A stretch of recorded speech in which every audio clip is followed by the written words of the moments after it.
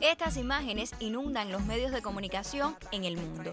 El cuerpo de la mujer se reduce a un objeto listo para ser poseído sin limitantes. Como animales en celo con una sexualidad provocadora e insaciable se exponen a estas féminas exhibidas lamentablemente como trofeos.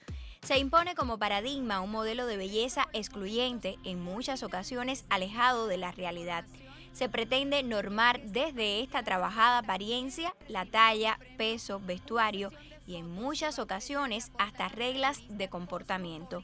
Los cuerpos aparecen fragmentados.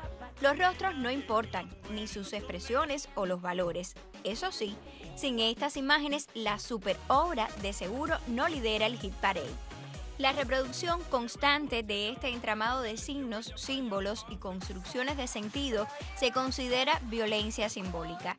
Vuelve a escribirse lo biológico como pretexto para sostener el machismo en pleno siglo XXI. En tanto, los medios constituyen una herramienta estratégica para socializar las recicladas formas de opresión. Estas representaciones estereotipadas de los arquetipos femeninos lesionan la dignidad de las mujeres y enmascaran las relaciones asimétricas de poder entre lo considerado femenino y masculino. Existen géneros musicales que en su versión audiovisual repiten una y otra vez la misma historia. Se justifica la agresión, los malos tratos, el acoso con argumentos como la pasión, el amor, los celos, el alcohol, la marginalidad. Otros grupos como el aplaudido Buena Fe caen en la trampa de subvalorar a las mujeres. Es este tema, por ejemplo, considerado uno de los más machistas de la historia de la música cubana. muy condenada, no entiende lo que hablo En otros casos, realizados con excelentes intenciones, tampoco se concluye con una tesis positiva.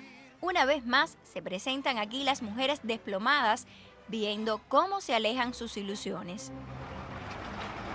Videos, clips, campañas de publicidad, marcas, muchos audiovisuales en sentido general reproducen las desigualdades entre hombres y mujeres, un debate en el que durante siglos han perdido las féminas.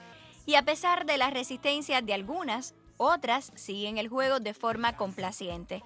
Urge apostar porque se valoren justamente las aptitudes, los principios y ética de este segmento de la humanidad que a veces se asocia únicamente a un pedazo de carne.